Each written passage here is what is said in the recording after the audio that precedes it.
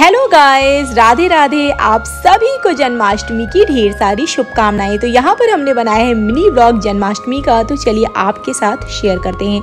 सबसे पहले श्री कृष्ण जी का यहाँ पर हो चुका है जन्म और जन्म के साथ ही हम उनका करते हैं स्नान। तो स्नान हमने यहाँ पर किया है दूध के साथ, दही के साथ और शहद के साथ।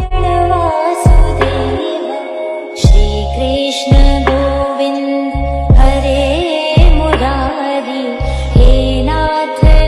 और स्नान के साथ ही यहाँ पर आ चुका है हमारे कान्हा जी का श्रृंगार का सामान। तो ये है इनका श्रृंगार। तो चलिए, अब हम तैयार करते हैं अपने कान्हा जी को।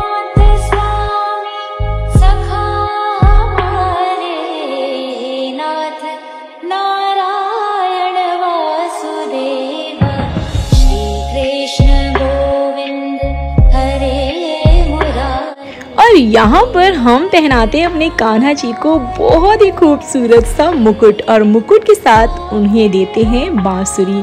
और यहाँ पर आप देख सकते हैं कि हमारे कान्हा कितने क्यूट लग रहे हैं, कितने प्यारे लग रहे हैं।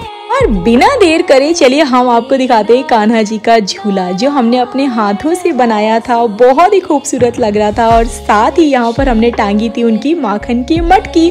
अब माखन तो कान्हा जी को बहुत ही पसंद है तो माखन की मटकी के अंदर माखन भी भरना बहुत ही ज़रूरी है। तो साथ ही हम इसमें रखते हैं माखन और अब समय हो चुका है हमारे कान्हा जी की आरती का।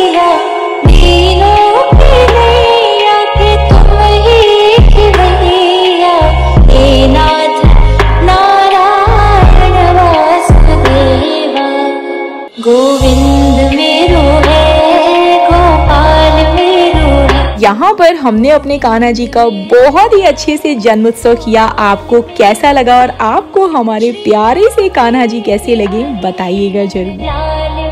हमारे और कान्हा की तरफ़ से आप सबको जन्माष्टमी की ढेर सारी शुभकामनाएँ तो आपको हमारी ये वीडियो कैसी लगी बताइएगा और हमारे इस वीडियो को खूब सारा लाइक करिएगा और उससे भी ज़्यादा शेयर करिएगा और हमारे चैनल को सब्सक्राइब करिएगा। सो राधे राधे